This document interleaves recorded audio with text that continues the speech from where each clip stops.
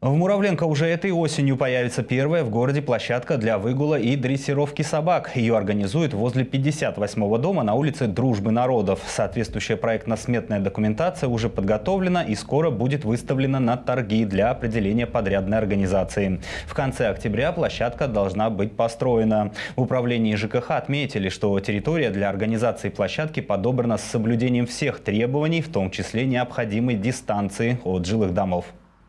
Она будет разделена на две зоны.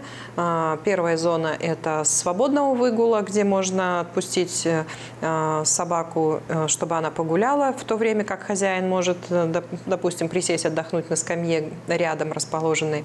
А, и вторая зона – это для, ну, так скажем, дрессуры и игры животных.